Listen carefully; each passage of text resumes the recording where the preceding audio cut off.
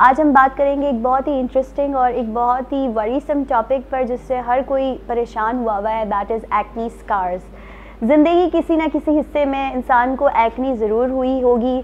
दस में से आठ लोगों को एक्नी का इशू हुआ ही है। और इनमें से कुछ percentage of people are suffering from acne scars acne scars कुछ स्किन टाइप में होती है कुछ में नहीं होती। ये uh, अभी तक क्लियर नहीं हो पाया कि कौन सी स्किन टाइप्स ऐसी हैं जिसमें एक्नी जो है, वो एक्नी स्कार्स की तरफ़ चली जाती है और कुछ की जो है बिल्कुल दाने ख़त्म हो जाते हैं तो स्किन सही हो जाती है। ज़्यादातर मेल्स में देखा गया है कि जब उनको टीन एज में एक्नी होती है तो वो सिस्टिक एक्नी होती है, यानी मोटे मोटे फोड़े वाले दाने जो स्किन के अंदर ज़्यादा होते हैं और ऊपर उभरन उभरन सा महसूस होता है, दर्द वाला दाने हो जाते हैं। उनमें ज़्यादातर चांसेस होते हैं कि वो जब एक्नी रिजॉल्व होती है, ठीक होती है तो वो एक्नी स्कार्स की तरफ़ जाती है। अब एक्नी स्कार्स एक दफ़ा जब आ गए, पहले तो कोशिश करें कि आप जल्दी से जल्दी उसकी ट्रीटमेंट करवा लें।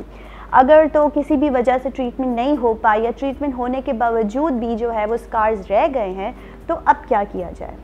तो अब परेशान होने की बात नहीं है। हमारे पास हैश के नेक्स्ट में इसके लिए बहुत सारी ट्रीटमेंट ऑप्शंस अवेलेबल हैं। आप एक्नी स्कार्स के लिए सबसे पहले तो आपको जो है अपनी स्किन को आ, बहुत ज़्यादा जो है ऑयल फ्री रखना है लेकिन मॉइस्चराइज रखना है। ठीक है ताकि स्किन जो है वो बहुत ज़्यादा ड्राई होगी तो वो ऑयल प्रोड्यूस करती जाएगी और स्कार्स का जो इफ़ेक्ट है ना वो इन्हेंस हो जाता है जब आपकी स्किन ऑयली हो जाती है। तो आपने उसको एज़ मच एज़ पॉसिबल आपने स्किन का टेक्सचर जो है वो ड्राई आउट रखना है।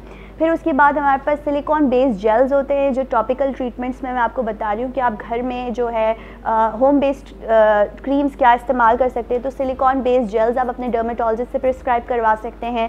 या नियासिनामाइड एंड जिंक का जो कॉम्बिनेशन होता है सिरम्स में, वो आप इस्तेमाल कर सकते हैं। उससे over the time Aahista Aahista skin का जो कोलाजन है वो बूस्ट होता है और आपकी जो स्कार्स हैं वो बेहतर होना शुरू होते हैं। एक्नी के स्कार्स के जो है वो डिफरेंट टाइप्स हैं।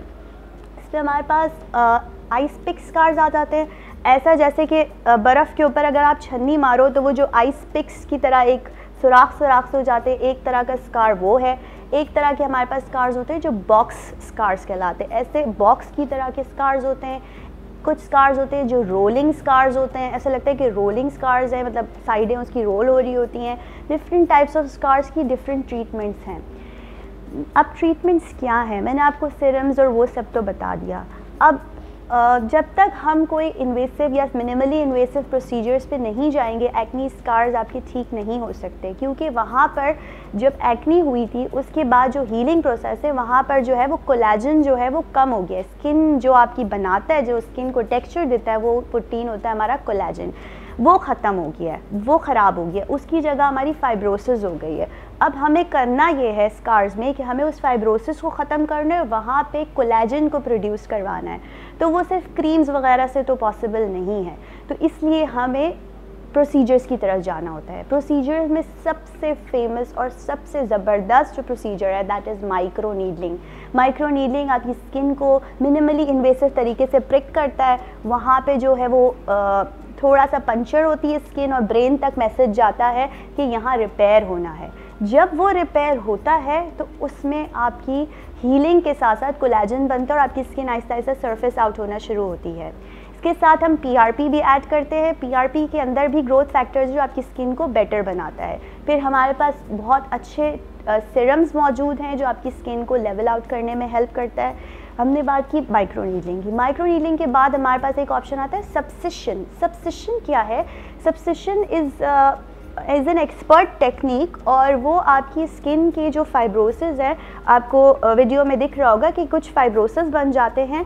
दो, जब आपकी स्कार्ड हो जाती है स्किन तो बैंड्स बन जाते हैं।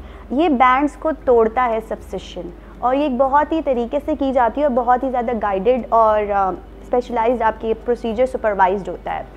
तो वो भी आप करवा सकते हैं। उसके साथ माइक्रो का combination works wonders now coming to peels कुछ ऐसी पील्स होती हैं टी सी ए पील्स होती हैं जिसको हम लगाते हैं और उसके बाद वो स्कार्स बेहतर होते हैं। और पील्स के अलावा हमारे पास लेज़र्स हैं। लेज़र्स भी uh, काफ़ी इस्तेमाल किए जाते हैं जिसमें carbon dioxide laser resurfacing laser है वो बहुत अच्छा वर्क कर रहा है। Uh, ये सारी ट्रीटमेंट्स मिक्स एंड मैच करते हुए आपकी जो है वो स्कार्स को बेहतर बनाया जा सकता है। तो अगर आपको कोई भी इस तरह का प्रॉब्लम है एक्नी स्कार्स हो रहे हैं या एक्नी शुरू हुई है या कोई भी इस तरह का स्किन का प्रॉब्लम है, जिससे आपको ज़रूरत है कि आप आए हमारे पास और ट्रीटमेंट करवाएँ और घर पर टोटके और अपनी तरफ़ से चीज़ें इस्तेमाल ना करें। See you then and hash clinics thank you so much